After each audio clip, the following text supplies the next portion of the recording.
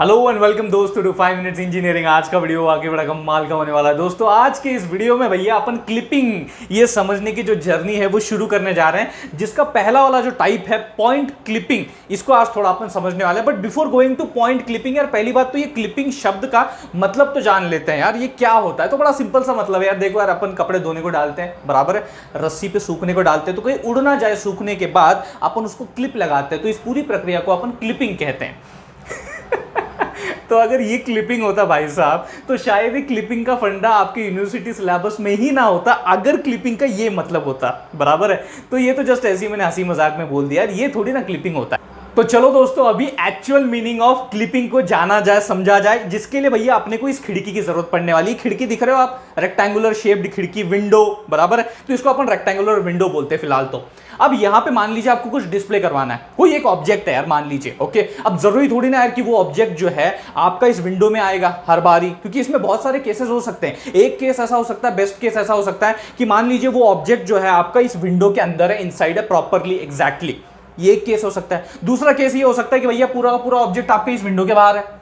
Possibility है भाई, बराबर है? वो पूरा का पूरा विंडो के बाहर है। ऐसा भी हो सकता है कि भैया वो आधा यहाँ पे है, आधा वहाँ पे है। मतलब ऐसे बीच में अटक गया है। मतलब एक पैर विंडो के बाहर है, एक पैर विंडो के अंदर है। बराबर है? तो इस तरीके से भी हो सकता है, जिसे अपन कहते हैं, जिस केस को अपन कहते हैं पार्शियली इनसाइड या पार्शियली आउटसाइड तो पार्शियल नेचर देखने को मिल सकता है कंप्लीटली इनसाइड नेचर देखने को मिल सकता है कंप्लीटली आउटसाइड नेचर देखने को मिल सकता है okay under the heading clipping अब यहाँ पे बेसिकली हमें क्या करना होता है? इस क्लिपिंग में एक प्रोसीजर है एक तरीके से। क्लिपिंग मतलब क्या? एक प्रोसीजर है, जिसमें हम लोग अपने पर्टिकुलर ऑब्जेक्ट का किसी एक पोर्शन को सिलेक्ट कर सकते हैं विजिबल दिखा सकते हैं डिस्प्ले करवा सकते हैं, और रिमेनिंग कुछ जो पोर्शन होगा आपके ऑब्जेक्ट का, उसको डिस्कार्ड कर सकते हैं, उसको रिजेक्ट कर सकते हैं, उसको भैया डिस्प्ले नहीं करवाएँगे। बराबर है? और वो डिपेंड करता है आपके इस विंडो के ऊपर। वो क्या, किसके ऊपर डिपेंड करता है? विंडो के ऊपर। मतलब आप उस पर्टिकुलर पोर्शन ऑफ़ ऑब्जेक्ट को डिस्प्ले करवाओगे विजिबल करवाओगे सिलेक्ट कर लोगे, जो आपके इस इनसाइड ऑफ़ द विंडो में होगा।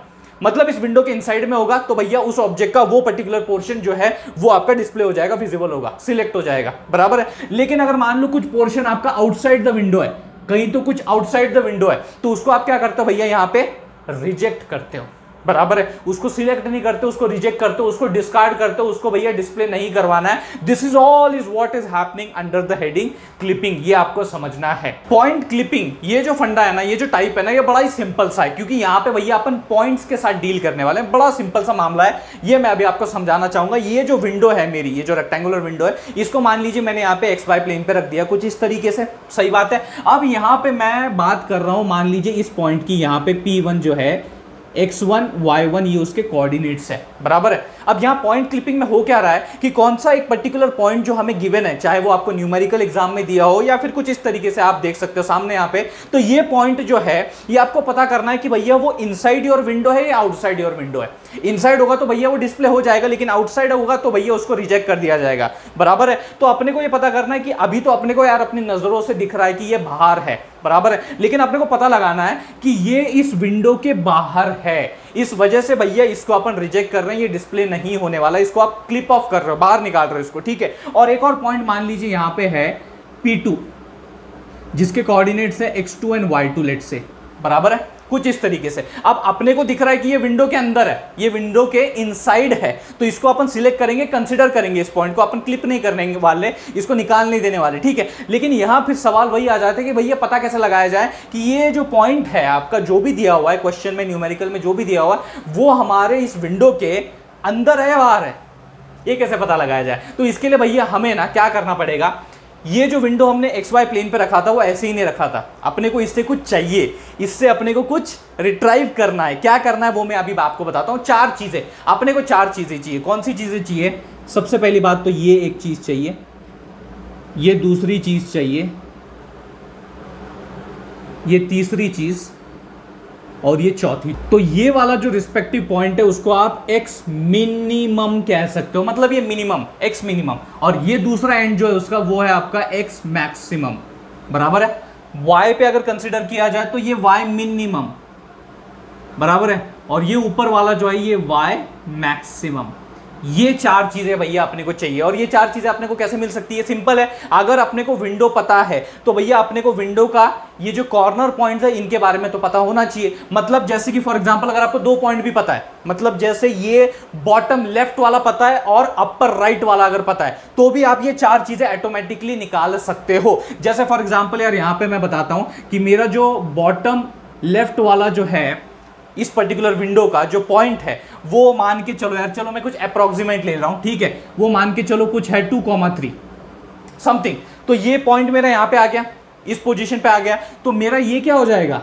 ये मेरा हो जाएगा एक्स यानी कि एक्स मिनिमम और ये हो जाएगा मेरा वाई मिनिमम ठीक है। और दूसरा अगर मैं कंसिडर करता हूँ, कौन सा कंसिडर करेंगे? अपन यहाँ पे अपर राइट वाला, ये जो अपर राइट वाला अगर पॉइंट है, ये अगर मुझे चाहिए मेरे इस विंडो का, समझ लीजिए क्वेश्चन में कुछ इस तरीके से दिया हुआ है, क्या लूँ मैं, क्या लूँ, कोई तो एक लेना पड़ेगा let's say I am just taking randomly nine comma eleven something like that okay तो अब यहाँ पे क्या होगा? What will be this nine nine will be nothing but X max and eleven will be nothing but your Y max बराबर है? तो ये चार चीज़ें अपने को चाहिए। लेकिन आप बोलोगे, भैया, ये चार चीज़ों की क्या ज़रूरत है? बिकॉज़ भाई साहब, ये आपके वो बाउंड्री पॉइंट्स हैं। समझ में आना ये आपके वो बाउंड्री पॉइंट्स हैं। अगर इनके अंदर वो रिस्पेक्टिव आपका क्वेश्चन पॉइंट लाई करता है तो ये आप कह सकते हो इस विंडो के इनसाइड में है वो। अगर नहीं करता तो आप कहोगे वो आउटसाइड में तो इसके लिए आपको ये चार कंडीशंस जो हैं वो फुलफिल करना है। अगर ये चारों में से एक भी कंडीशन अगर फेल होती है तो आप कह सकते हो बड़ी सेफली कि भैया पॉइंट आपका इस लाइन के मतलब इस विंडो के बाहर है। अगर एक भी कंडीशन फेल करती, ठीक है? तो सबसे पहली चीज़ क्या है, वो अपने को समझनी है कि मान लीजिए यहाँ पे मेरा, मैं पहले P1 के साथ देखता हूँ, ठीक है? ये P1 पॉइंट है। हम्म मुझे ये चेक करना है कि ये अंदर है या बाहर है। दिखने में तो बाहर है, लेकिन अभी पता भी करना है अपने को। तो यहाँ मैं सबसे पहली कंडीशन जो रखने वाला हूँ, वो क्या है? With respect to X mean मैं ये कंडीशन देखता हूँ। इसके कॉर्डिनेट है एक्स एंड वाई तो यहाँ पर क्या होना चाहिए कि मेरा जो एक्स है it should be greater than और इक्वल टू एक्स मीन ये बात आपको समझ में आ रही? है सिंपल है फंडा। ज़्यादा कुछ मुश्किल नहीं है। ये फंडा बड़ा सिंपल है कि भैया एक्स मीन से क्या होना चाहिए?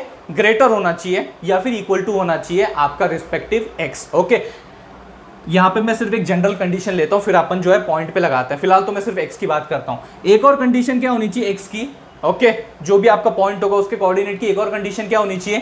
कि it should be less than the X max मतलब ये जो ये जो लिमिट है, एक तरीके से ये जो अपर लिमिट है एक्स एक्सेस की, उसको क्रॉस नहीं करना चाहिए। क्योंकि अगर उसको क्रॉस कर दिया मतलब आपका पॉइंट एक तरीके से विंडो के बाहर है। और ये एक तरीके से आपके एक्स एक्सेस की लोअर लिमिट है। अगर लोअर लिमिट के इस साइड में है वो ओके आपका अगर पॉइंट का एक्स जो कोऑर्डिनेट अगर वो आपकी इस लोअर लिमिट के इस साइड में है, कम है यानी कि कहने का मतलब तो वो क्या होगा? विंडो के बाहर होगा। इसलिए इससे ज़्यादा होना चाहिए और इससे कम होना चाहिए। ये आपको बात यहाँ पे समझनी तो एक्स आपका क्या होना चाहिए? लेस देन या इक्वल टू एक्स मैक्स तो ये दो कंडीशंस आपको समझ में आ गई with respect to X axis अगर मैं वाई की रिस्पेक्ट में बात करता हूँ तो ये भी फंडा सेम ही होगा कि अभी आपका जो पॉइंट है, उसमें एक्स का तो रोल हो गया, अभी वाई का भी रोल है। तो वो जो वाई होना चाहिए it should be greater than equal to Y mean ये वाई है। ठीक है? वाई मीन मतलब यहाँ पे वाई मीन जो ये आपकी लोअर लिमिट है, इससे कम नहीं होना चाहिए, आपकी Y value for that respective point इससे इक्वल टू हो सकती है या फिर ग्रेटर देन हो सकती है। एक और अपने को अपर बाउंड भी देखना है। जो अपर लिमिट है वो क्या है भैया? कि आपका जो वाई है it should be less than और इक्वल टू वाई मैक्स मतलब इसके ऊपर भी अपने को ज़्यादा नहीं उठना है ओके और इतना भी अपने को ज़मीन में नहीं रहना है कि भैया, अपन वाई मीन से भी लेस देन वाला फंडा वाई की वैल्यू वहाँ पे कंसीडर कर ले। तो ये चारों अगर कंडीशंस आपकी सेटिस्फाई हो जाती है तो you are free to tell कि भैया एक पर्टिकुलर पॉइंट आपका इनसाइड है। लेकिन अगर इसमें से एक भी फेल हो जाती है तो आप बोलोगे, भैया पॉइंट तो बाहर है। चलो, अभी यार, ये बात समझ में आ गई है तो उसका एक न्यूमेरिकल भी देख लेते हैं, थोड़ा समझ लेते हैं। एक केस जिसमें वो कंप्लीटली आउटसाइड है और एक वाला आप देख सकते हो पॉइंट जो है इनसाइड है, अभी पता लगाते हैं ये चारों कंडीशन की मदद से। ठीक है, पहला पॉइंट देखते हैं P one X one comma Y one ये कोऑर्डिनेट क्या है उसका? फाइव कॉमा वन मतलब x जो है x1 वन है y1 जो है आपका वन है। लेट्स फाइंड आउट तो अभी भैया देखो, सबसे पहले x क्या है आपका? फाइव तो यहाँ पे फाइव रख दो। और x मिनिमम क्या है? x मिनिमम टू है। तो क्या ये कंडीशन सेटिस्फाई हो रही है? Obviously five is greater than two तो भैया चलो, ये कंडीशन सेटिस्फाइड आगे बढ़ते हैं। अगला अगर आप देखोगे तो यहाँ पे वापस से फाइव रखते हैं। x मैक्स x मैक्स क्या भैया? नाइन है।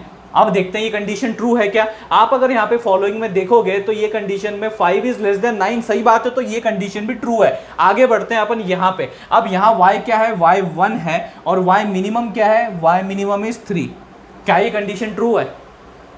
बिल्कुल नहीं। One is not greater than three okay तो इसका मतलब क्या कि यहाँ पे हो गया भैया लोचा। यहाँ लोचा हो गया। तो अब अपन क्या करेंगे? यहाँ रुक जाएँगे और एकदम बोलेंगे भैया इसको, ईमानदारी से बोलेंगे, भाई कट लो। भाई यहाँ से कट लो। तुम बाहर हो बाहर से ही कट लो। अंदर आने की कोशिश मत करो तो इसको अपन बोलेंगे ये आउटसाइड है भैया। बराबर ये आउटसाइड है।